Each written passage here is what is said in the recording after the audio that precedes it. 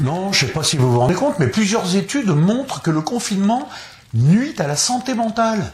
Vous vous rendez compte? Il y a des médecins qui sont en train d'alerter sur une troisième vague psychiatrique. Oh, oh. Qui aurait cru? Chérie, j'ai mis le poulet à cuire pour midi.